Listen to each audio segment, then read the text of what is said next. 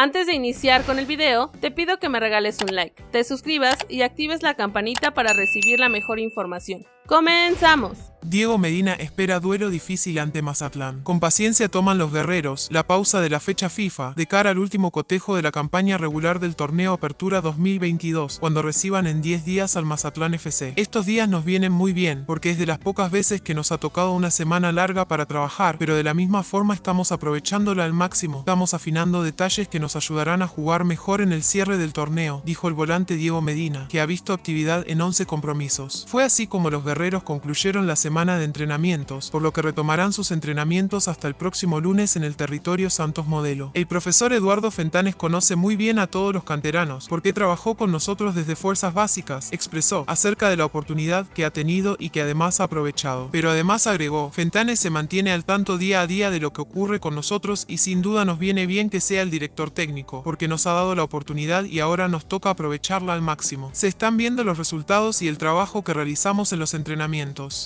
Que los guerreros siempre esperan un buen torneo, dar lo mejor en cada partido. Si bien el certamen anterior no fue bueno, pero de la misma forma trabajamos al máximo. Hoy se nos están dando los resultados y claro que queremos que Santos esté en el lugar que merece, expresó. Acerca del próximo rival comentó, Mazatlán es un rival muy complicado, de la misma forma que lo fue FC Juárez. Nosotros vamos a jugarle al tú por tú, queremos escalar posiciones. Si el conjunto mazatleco viene en su mejor forma, nosotros también lo estaremos, finalizó. Por otro lado, Carlos Acevedo ha tenido un repunte de nivel fenomenal desde que le dieron la confianza de ser el titular en el arco de Santos Laguna. Ahora al mando de Eduardo Fentanes, el arquero está generando excelentes números. El portero ya aporta el gafete de capitán del equipo y esto es gracias a su excelente rendimiento con Santos Laguna. Mucho salto a la luz la polémica de haberlo dejado fuera de la última convocatoria de la selección mexicana. Y es que Gerardo Martino lo ha llamado en otras ocasiones y para los dos últimos juegos en la Unión Americana lo ha dejado fuera y se decantó por Rodolfo Cota. Si nos vamos a los números en este torneo, Carlos Acevedo ha sido mucho mejor que el arquero de los Esmeraldas del León. De acuerdo a los datos generados desde que se inició con el proceso mundialista en el tricolor y tomando en cuenta los partidos de la Liga MX, Carlos Acevedo es el portero con el segundo mejor promedio de gol recibido por partido, solo por debajo de Guillermo Ochoa del Club América. Hasta el momento, Carlos Acevedo promedia 1 y 14 goles por juego, todo esto producto de 113 tantos recibidos en 99 duelos jugados. Dentro de los porteros que están en la selección mexicana, Guillermo Ochoa es el mejor en este rubro, él ya tiene su